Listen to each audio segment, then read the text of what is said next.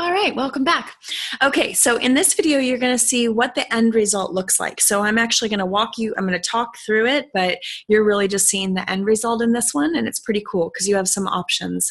Um, so right now, I already have my, my Keynote, so you'll already want to have your Keynote or your PowerPoint open, and I'm just, I've hit record already, so I can chat with you, I can do my intro, whatever that may be, and then I'm going to hit this share screen button that's in Zoom.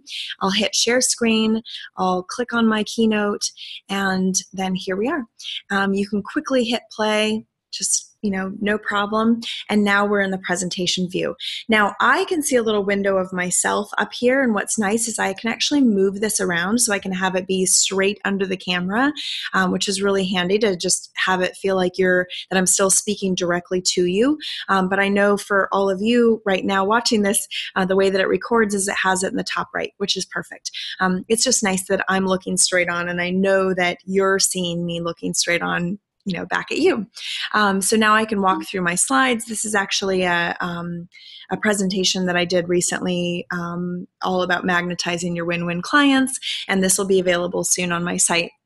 Now, some of the options that I have is right now I can see this small little window like you see it there.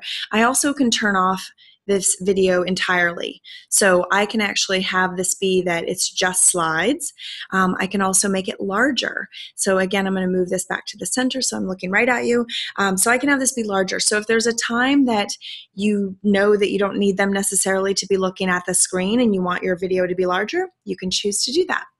So you've got a few options here, which is really nice. And, um, and this slide is, is pretty appropriate for this and so we'll complete here. Um, I'll show you what it looks like to just go back. So I have tools um, right here at the top of my screen that says that I can stop the share. So I can actually even pause the share, um, which is interesting. And then I can also resume it or I can completely stop it. Okay, so that's the end result, and you can see what that looks like. And now we're back here.